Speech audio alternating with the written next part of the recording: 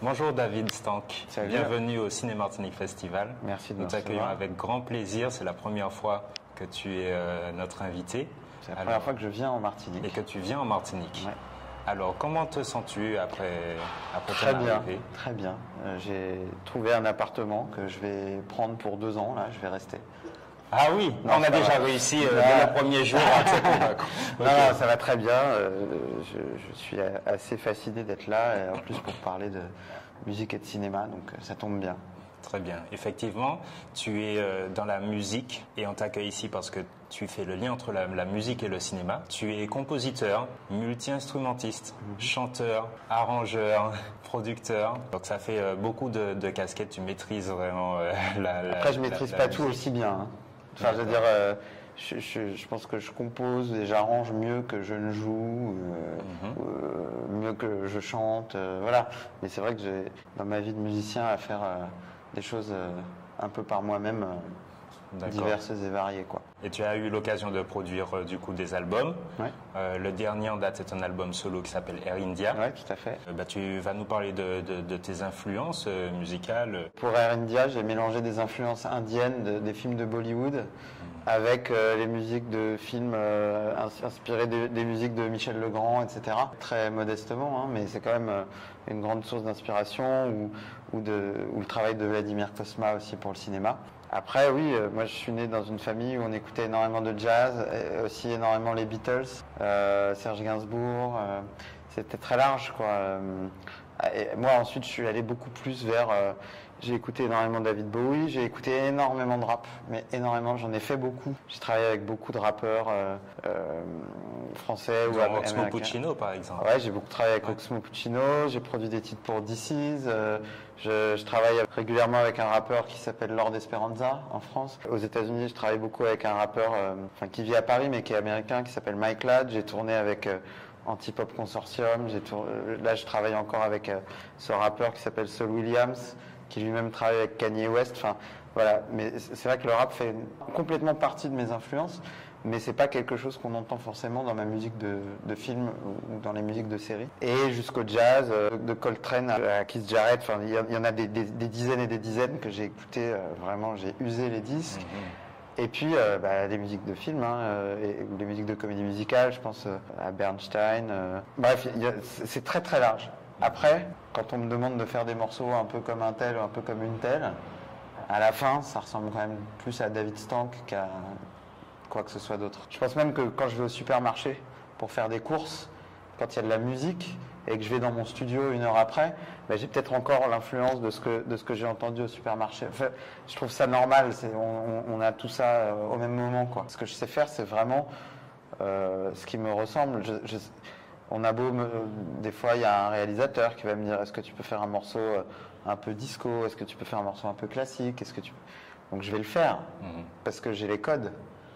Mais à la fin, ça ressemblera plus à, à mon travail qu'à Earth, Wind and Fire. Qu'est-ce qui t'a fait euh, passer donc euh, sur la musique de, de film Bah, Voilà, comment comment la musique de film s'est peu- c'est- c'est Ah, ah, invité chez toi? Eh ben, c'était, c'est ça, elle s'est invitée chez moi, c'est exactement la bonne expression. C'était un peu le hasard.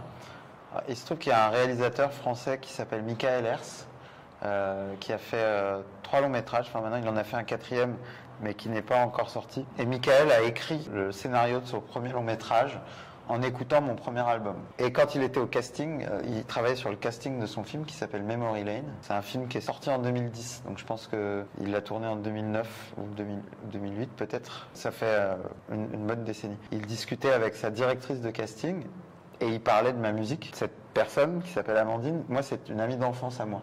Mais c'est vraiment le hasard. Quoi. Elle dit Ah non, mais David Stank, mais moi c'est mon, pote, euh, je vais vous mettre en contact. Mhm. Et donc elle nous a mis en contact et il m'a proposé de faire la musique du film vu qu'il avait écouté mon disque euh, pendant qu'il écrivait. Et j'ai même fini par jouer un petit rôle dans le film. Donc ça c'était rigolo. Mais ça s'est fait par hasard. Ce film-là a été très bien reçu et la musique en particulier, enfin aussi. Et du coup, j'ai eu des demandes par la suite. euh, D'un point de vue euh, personnel, moi, je me suis rendu compte que c'était un travail très intéressant, que j'avais passé un très bon moment à le faire. C'était pas toujours facile, hein, mais que c'était un travail passionnant quand même. Quelle était la plus grande surprise quand tu as commencé à travailler sur la musique de Bah, film de, de- la, la plus grande surprise, c'est de voir quand, quand la musique marche bien avec les images. Cette synchro là. Ouais, il y a un truc euh, un peu magique, genre ah, on a trouvé le mouvement, on a trouvé le, le placement de la musique, comment elle va venir, pas s'insérer mais s'inclure dans l'image. Et quand, quand on l'a, on le sait quoi. Quand, Mhm. quand on, a, quand on a trouvé le, le rythme, la mélodie, le thème, l'harmonie qui va accompagner le, le cube quoi, qui se met en place, quand le cube il est comme ça, voilà, ça, c'est- ça c'est très satisfaisant. une symbiose Ah ouais, complètement. entre l'image et la musique. Et Alors, alors, des fois, on le trouve tout de suite, et puis des fois, ça prend plusieurs jours. euh.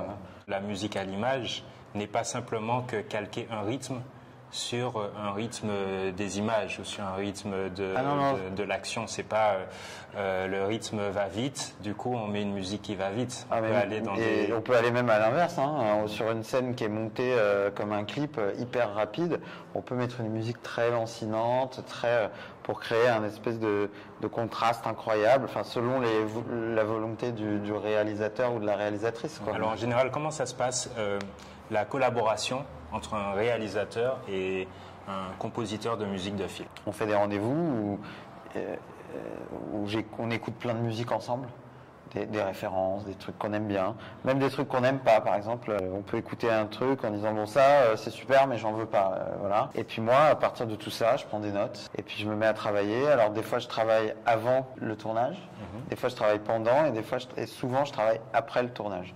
Mais là, par exemple, je travaille sur une, série de fiction et je dois écrire euh, quel- quelques morceaux, mais la série, le tournage commence dans trois semaines. Mais ils ont besoin de musique pour certaines scènes déjà, pour avoir le, rythme, etc. Le plus confortable, on va dire, c'est de travailler sur, euh, en même temps que le montage. Parce que comme ça, on peut, c'est vraiment chouette. Si, si on s'entend bien avec le monteur ou la monteuse, c'est vraiment hyper facile de caler les mouvements, de caler les choses. Et là, et là, c'est, super, quoi. C'est, des très bons moments. On est en salle de montage, euh, c'est éclate. On fait des tests ensemble. Euh, Le monteur ou la monteuse, j'ai travaillé avec une monteuse là sur un, un film.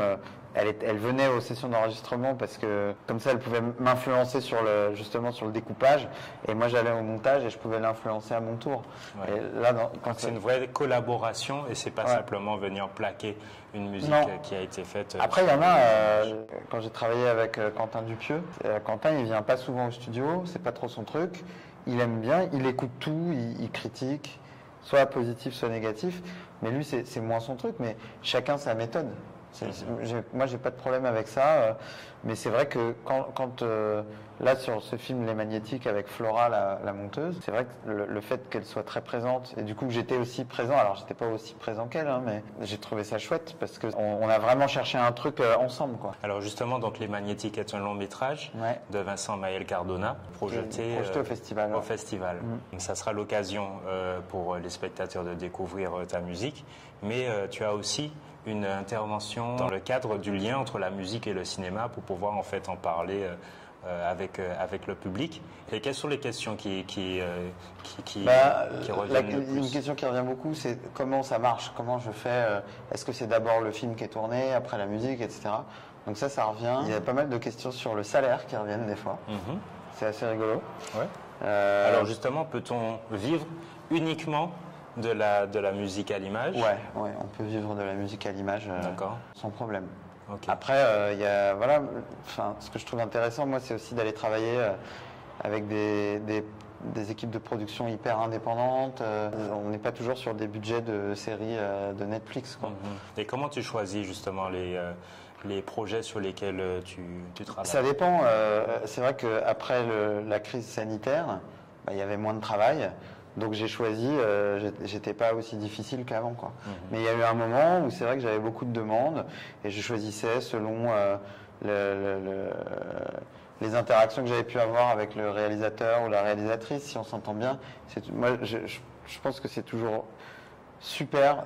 Si on s'entend bien, c'est plus facile de travailler, même si le film n'est pas terrible. Mhm. Euh, c'est d'abord la relation humaine. ouais, ouais, clairement. Ouais, ouais. D'accord. Euh, D'accord. Et du coup, euh, parle-nous un peu de- du film Les Magnétiques. Je parle pas de la musique là, je parle juste du film. C'est un film absolument génial, je trouve. C'est le premier long métrage de Vincent Maël Cardona. C'est mis en scène euh, de manière incroyable. C'est l'histoire de deux frères euh, qui s'aiment autant qu'ils ne se comprennent pas, enfin qui, qui se cherchent, c'est ça. Ils s'aiment et en même temps ils se cherchent dans une petite ville euh, de Bretagne. Ça commence à l'élection de François Mitterrand en 81. Et voilà, après je peux pas raconter trop, mais en tout cas l'é- l'époque est hyper bien recréée. Il y a beaucoup de musique synchronisée avec des groupes de rock de cette période, Mhm. français, anglais, etc. Enfin, Vincent a fait un travail d'époque, quoi. D'accord. Et toi, justement, sur la commande, qui est sur la demande qu'il t'a faite, c'était aussi euh, ça en particulier, de pouvoir se Bah, moi, il replacer vou- il voulait- musicalement Ouais. dans, ce- dans cette époque-là. Exactement. En fait, il voulait une- de la composition, euh, de la musique assez contemporaine, mais qu'on retrouve dans les sons ou dans l'utilisation de certains synthétiseurs, les couleurs du début des années 80. Du coup, c'était hyper intéressant de mélanger des modes de composition, euh, pareil, modestement, mais de, de musique sérielle, de Steve Reich ou, ou Glass, ou d'a- d'aller essayer d'aller chercher des choses, ou, ou de Feldman, par exemple, mais, d'essayer de les jouer euh, différemment, c'est-à-dire avec un synthé Juno 60, avec euh, une basse au synthé, avec euh, des reverbs euh, utilisés par le producteur Martin Annette en 82. Enfin, voilà, d'essayer de détourner un peu. Alors du coup, ce qui est intéressant, c'est est-ce qu'on a détourné la musique des années 80 pour en faire de la musique contemporaine, ou est-ce qu'on a détourné de la musique contemporaine pour en faire de la musique des années 80 Ça, je sais pas. Mais mais il y avait il y avait cette recherche en tout cas. Quelqu'un qui veut se lancer dans, dans- dans la, dans la Mhm. musique de film, comment faut-il faire? Est-ce qu'il faut écouter beaucoup de musique? Est-ce qu'il faut Ah ouais, être ouais. bon en solfège? Est-ce qu'il faut jouer aussi d'un instrument? Est-ce que toi, c'est quoi ton Ça, pas forcément, mais je pense ton- qu'il faut être curieux tout le temps. Il faut être curieux, curieux, et puis euh, et se laisser porter par les images qu'on voit. Alors c'est un petit peu, euh, j'enfonce des portes ouvertes, mais en fait, euh, la première inspiration d'une musique euh, sur une scène, c'est la scène elle-même quand même. Je veux Mhm. dire, euh, après, euh, oui, tu peux parler. Je travaille beaucoup avec ce réalisateur qui s'appelle Jérôme Bonnel, et Jérôme, c'est un, un- un puits de connaissances en cinéma et donc en musique de film. Et, et c'est vrai que une fois que je regarde la scène de son film et que je la comprends et que ça m'inspire quelque chose, lui, il va me dire, bah, essaye de penser plutôt à, à tel ou tel film, essaye de penser à ça. La première inspiration, c'est évidemment l'énergie de la scène telle qu'on me l'envoie. Quand, quand je fais de la musique après la- Mhm. le tournage. D'accord. Et en pré-production? En pré-production, c'est plus compliqué, mais c'est intéressant. J'ai plus de chances de me tromper, quoi. Euh, en pré-production, euh, ce serait, euh, on échange des références et puis à un moment, je me lance, quoi. Ouais. Donc en fait, ce que tu m'as dit, c'est déjà être curieux Ouais. pour se lancer dedans. Après, au niveau maîtrise technique, euh, Bah, il faut maîtriser un minimum, je veux dire, euh, c'est sûr. Moi, moi j'ai, beaucoup travaillé. J'ai, travaillé comme un chien, etc. Après, euh, on peut être autodidacte et très inspiré. Enfin, je veux dire, j'en connais et j'adore leur boulot et, et voilà, quoi. Enfin, Hans Zimmer, il a jamais appris la musique, hein. est-ce que tu sens au niveau des, des films et des réalisations qu'il y a de la place pour des, des compositeurs qui viennent de territoires comme la Martinique, euh, comme la Caraïbe Est-ce que tu penses que ces esthétiques-là peuvent avoir euh, de la place hein, bah, sur les productions Bah, françaises ou même internationales? Je pense à fond. Déjà, déjà euh, tout le monde sait que bien au-delà de la métropole, il y a des réservoirs de talents incroyables, évidemment. Et puis surtout, il y a des films euh, qui, qui ont besoin. Moi, je sais que sur un, un film, euh, finalement, ça n'avait pas été gardé, mais j'avais fait la- la- des morceaux sur le film d'Eric Judor qui s'appelait Problemos. Hmm. Et à un moment, Eric me dit Ouais, là, ce serait bien que j'ai du, reggae ou du ska, mais vraiment hyper old school. Et du coup, j'avais fait travailler euh, ce groupe de, de, de- reggae euh, du chanteur Tyro, parce que moi, moi je ne savais pas le faire. Moi, j'ai écrit les chansons, et puis après, j'ai embauché les gens qui savent le faire mieux que moi. Quoi. Donc, moi, si demain, on me demande euh, un, morceau qui, qui trouverait ses influences dans des, dans des, des sources martiniquaises, bah, je sais pas le faire. Enfin, je veux dire, euh, je peux écouter. Et je, peux, mais, mais autant, tout à l'heure, je disais, là j'ai les codes, là j'ai les codes.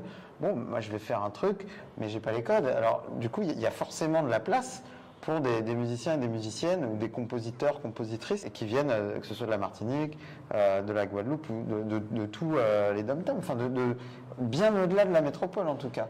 Toi, concernant le futur, quels projets vont arriver ou quel serait le projet que tu aurais bien aimé qui arrive sur, sur ta table? Là, Ouais.